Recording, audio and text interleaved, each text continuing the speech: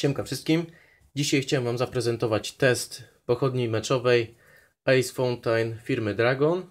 Symbol U31289. Wygląda tak. Troszkę większa jak te y, fontanny tortowe.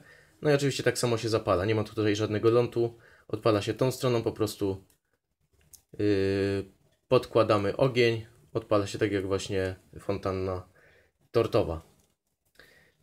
Yy, koszt takiej właśnie pochodni to 4-5 zł. Także powiem Wam nie pieniądze. Yy, zapraszam do oglądania. Dobra, to zaczynamy sobie test.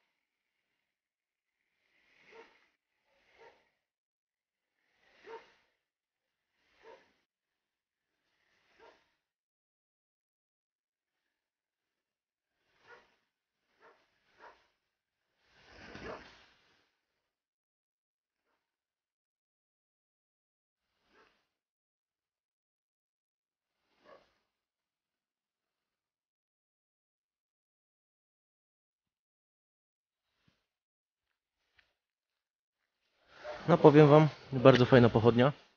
Jak za 4-5 zł to produkt godny uwagi. Jeśli ktoś chce sobie kupić na mecz, bardzo fajna rzecz.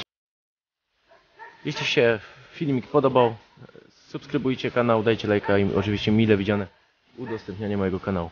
Dzięki, do następnego razu.